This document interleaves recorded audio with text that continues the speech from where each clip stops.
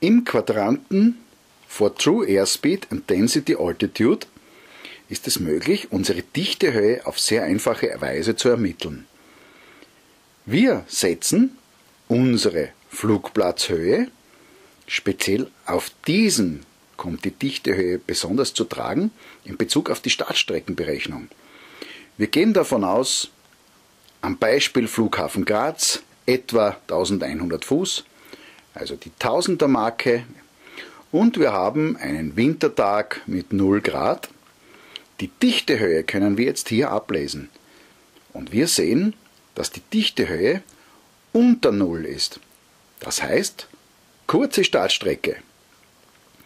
Derselbe Flugplatz an einem Tag mit 30 Grad, ein sehr warmer Sommertag, 30 Grad, etwa 1000 Fuß, können wir wieder ablesen, wir haben eine Dichtehöhe von über 3500 Fuß. Die Dichtehöhe ist jene Höhe, einfach ausgedrückt, wo das Flugzeug, der Motor, die ganze Aerodynamik glaubt sich zu befinden.